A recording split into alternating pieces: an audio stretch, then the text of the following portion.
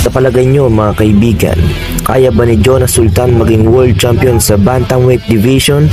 Kaya niya ba ang tatlong hari sa nasabing timbang na sila Naoya Monster Inoue, Janriel Cuadro Alas Casimero, at future Hall of Famer na si Nonito The Flash Donaire? Magandang araw mga boxing fans. Ako nga pala si Arlian Whitey. Subscribe na po kayo. Jonas Sultan, nagkarmas pala ang paa sa laban nila ni Carlos Caraballo. Nanalo si Sultan via unanimous decision sa score na 94-93. Lahat ng judges pareho ng score. Sinabi ni Jonas Sultan na kung di siya nag-cramps ay kaya niya nang tapusin sa round 4 pa lang ng laban.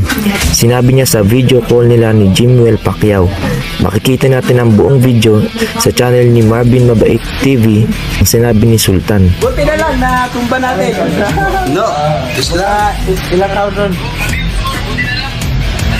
Oh, nag nag-grab kasi ako sa paa ko, nagka-problema ako sa paa ko, yung ankle ko, yung ankle.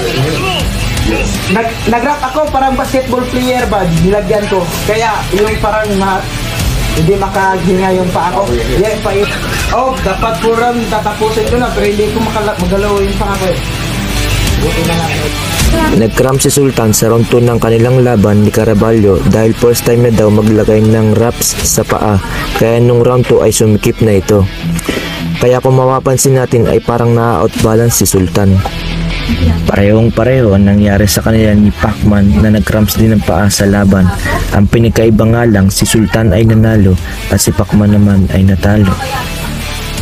Dito din ay muntik pang maluto ang laban dahil sa mga bias na judges at sa hindi patas na referee. Limang beses pinabagsak ni Sultan si Caraballo pero hindi binilangan ng referee yung isang tumba na dapat ay knockdown. Binilangan din ni Rep si Sultan kahit hindi naman clean shot ang suntok na tumama sa likod nito bago tumunog ang bell. Pero yung isang dapat ay knockdown din ni Jonas Sultan ay hindi binilangan ng referee dahil nadulas lang daw si Caraballo.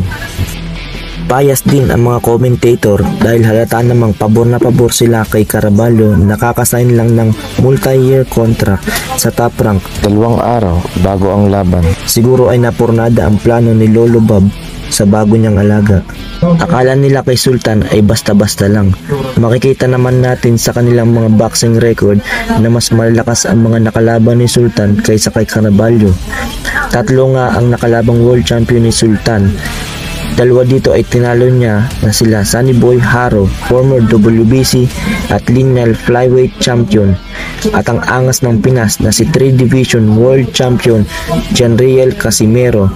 Natalo naman si Sultan sa championship fight nila ni Jerwin Angkahas na ngayon ay kaibigan na niya at sparring partner. Hanggang dito na lang tayo mga kaibigan. Maraming salamat po sa panonood. Please subscribe for more updates.